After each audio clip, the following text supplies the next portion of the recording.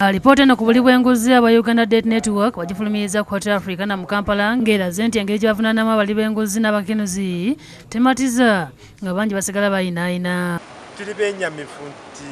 obukumpanya mu uganda bukyasimbye kuuli ate kati bweyongedde n'okukaluba nti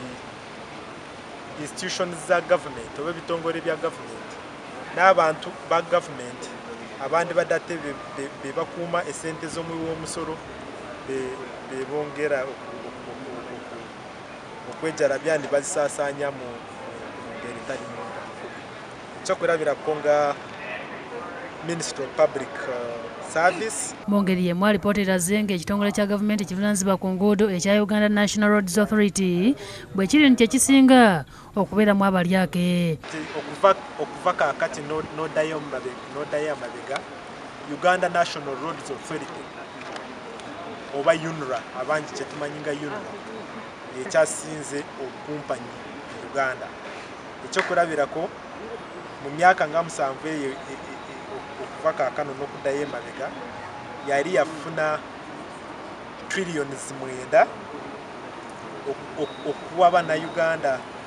kilomitas z'enguudo ezisoba mu nkumi ttaano naye ate bambe neetuwayo olukumu bitaano ng'ekozeseza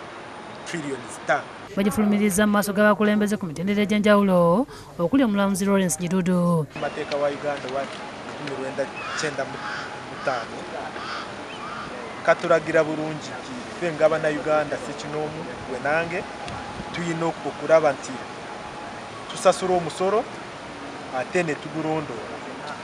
Alipoota era eraze nga ebikola ebyobuli bw'enguzi bivudde mu bukadde ne biyingira obuwumbi ekifiiriza gavumenti obutitimbe bw'ensimbi. Kenneth nyombi yakusakidde eggulu eno ku lwabukedde tv